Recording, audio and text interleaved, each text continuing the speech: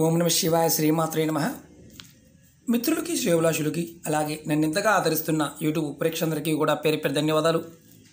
మిత్రులరా మీ అందరికీ కూడా ఆ పరాదేవత ఎల్లవెల్లలా మీతో ఉండి మీ మనోవాంఛ నెరవేర్చాలని మనస్ఫూర్తిగా కోరుకుంటున్నాను. ఈరోజు మనం ధన రాబడి పెరగడానికి ధనాకర్షణ కలగడానికి వ్యాపారంలో లాభాలు రావడానికి దైవిక నెంబర్ గురించి తెలుసుకుందాం.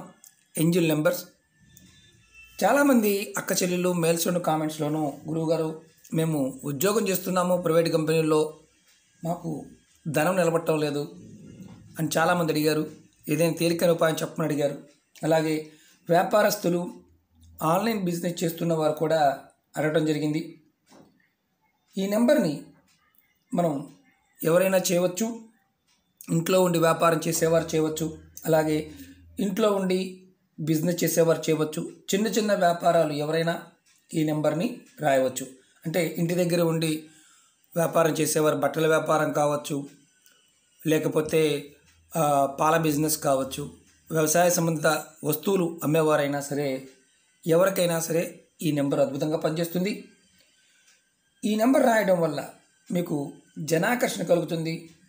ఈ నెంబర్ మీకు అద్భుతంగా పనిచేస్తుంది. వీటిని దైవిక నెంబర్లు అంటారు. ఎంజిన్ నెంబర్స్ అంటారు. ఆ నెంబర్ ఏంటి? ఎలా రాయాలి? ఏ విధంగా రాయాలి మీకు తెలియచేస్తాను. ఏ కలర్ పెన్ను వాడాలి? ఏ చేతి మీద రాయాలి కూడా మీకు తెలియచేస్తాను. చాలామంది ఏంటంటే మా దగ్గర ఇది లేదు. వేరేదంతా చేయవచ్చు అని అడుగుతూ ఉంటారు. వీటికి ఆ పదార్థము ఆ సమయము ఆ ప్రదేశం చాలా ఇంపార్టెంట్. కాబట్టి మీరు ప్రయత్నపూర్వకంగా చెప్పిన దాన్ని ప్రయత్నం చేయండి. సొంతగా మాత్రం ప్రయత్నం చేయవద్దు. ఎందుకంటే ఫలితాలు రావు. సమయము అలాగే చెప్పిన విధానాన్ని పూర్తిగా అర్థం చేసుకోండి.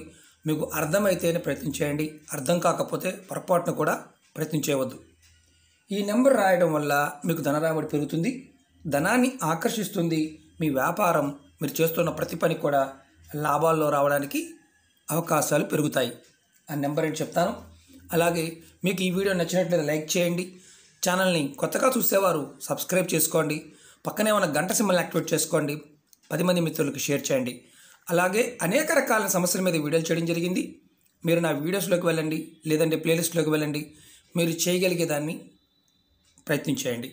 ముందుగా నెంబర్ చెప్తాను. ఈ నెంబర్కి మనం వాడవలసింది గ్రీన్ కలర్ పెన్ వాడాలి. స్కెచ్ కానీ పెన్ కానీ. నెంబర్ వచ్చి one nine nine six two one one four seven. ఒకటి తొమ్మిది తొమ్మిది ఆరు రెండు ఒకటి ఒకటి నాలుగు ఏడు.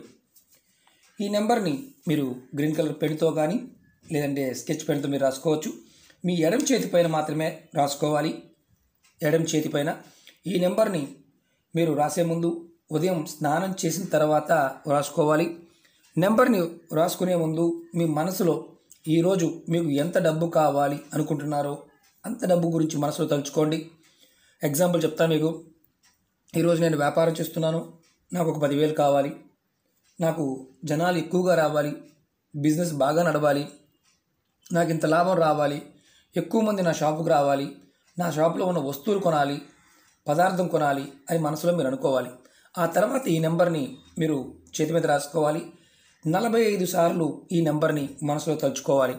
ఈ నెంబర్ని ఒకసారి రాసుకొని ఫార్టీ ఫైవ్ టైమ్స్ మీరు నెంబర్ని మనసులో తలుచుకోవాలి ఇది నలభై ఒక్క రోజుల వరకు ప్రతిరోజు ఈ నెంబర్ని మీ చేతి మీద రాసుకుంటూ ఉండండి. మీరు రోజు స్నానం చేసిన తర్వాత ఈ పని చేయాలి.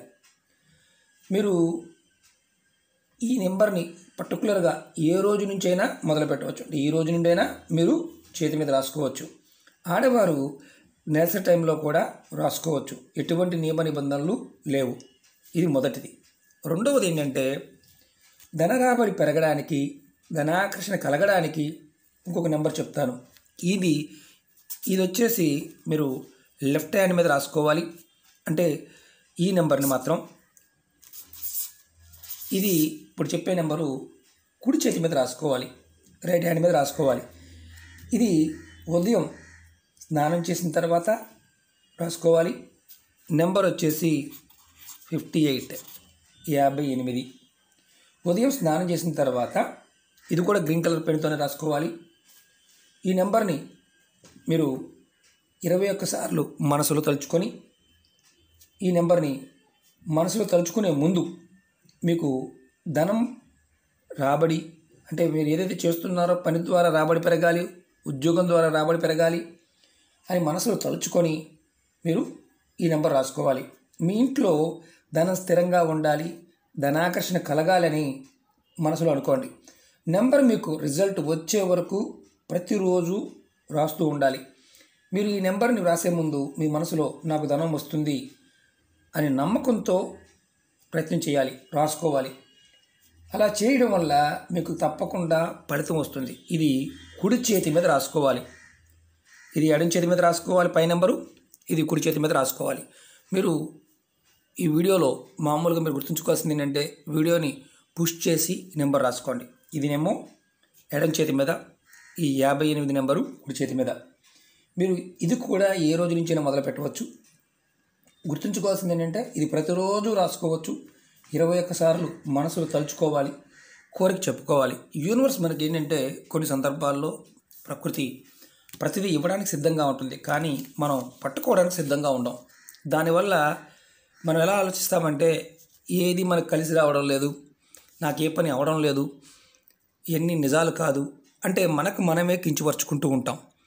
అలాగే మానసిక స్థితి ఎలా ఉంటుందంటే ఎవరైతే ఎక్కువగా ఎదుటివారి మీద అంటే మన గురించి మనం ఆలోచించుకోకుండా ఎదుటివారిలో లోపాలు వెతుకుతూ వారు ఎలా తప్పు చేస్తున్నారు అయినా వారికి కలిసి వస్తుంది.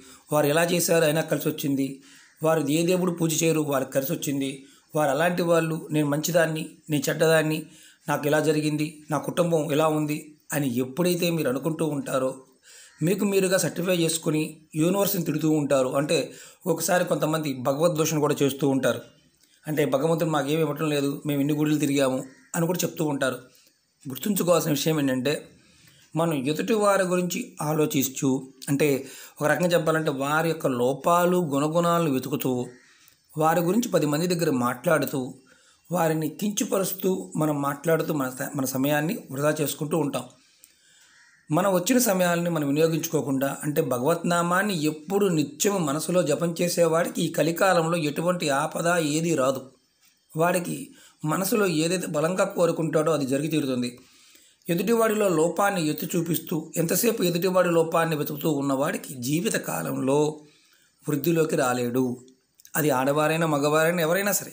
అంటే లోపాన్వేషణ రంధ్రాన్వేషణ ఇది తగ్గించుకోగలిగితే జీవితంలో మనం చేసే పని ప్రతిదీ కూడా సఫలీకృతం అవుతాం.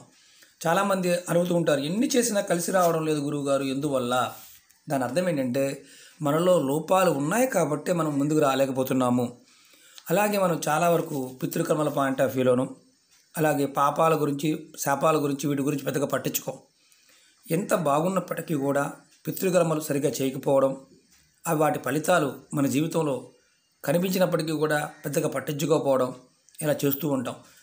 మనం ఎప్పుడూ కూడా భగవంతుని ఎంతగా నమ్ముతామో మనని మనం కూడా అంత నమ్మాలి. మన మీద మనకు నమ్మకం ఉన్నప్పుడు చేసే ప్రతి కర్మ సానుకూలంగా ఉంటుంది. మనం ఏదైనా సరే సాధించడానికి అవకాశం ఏర్పడుతుంది. ఈ నెంబర్లు కూడా మీరు నమ్మి విశ్వాసంతో ప్రయత్నం చేస్తే ఫలితం ఖచ్చితంగా వచ్చి తీరుతుంది. మిత్రులరా మీకు ఈ వీడియో నచ్చినట్లయితే లైక్ చేయండి నా ఛానల్ని సబ్స్క్రైబ్ చేసుకోండి పక్కనే ఉన్న గంట సింబల్ని యాక్టివేట్ చేసుకోండి పది మంది మిత్రులకి షేర్ చేయండి. మీకు ఎవరికైనా సరే అర్థం కాకపోతే ఒకటికి రెండు సార్లు చూడండి. అప్పటికి అర్థం కాకపోతే పొరపాటును కూడా ప్రయత్నం చేయమాకండి. మన మనసుని ఏదైతే ప్రేరేపిస్తుందో మనం చేయగలుగుతాము దాన్ని మాత్రమే ప్రయత్నం చేయాలి. అంతేగాని అర్థం కాని దాన్ని మనం పట్టుకుని వేలాడటం వల్ల ఎటువంటి ఫలితము ఉండదు. మీ అందరికీ కూడా మరొకసారి నా విన్నపం ఏంటంటే అర్థం చేసుకుంటేనే మీకు ఫలితం అనేది వస్తుంది. అర్థం కాకపోతే ఫలితం అనేది ఆశించడం మర్చిపోండి.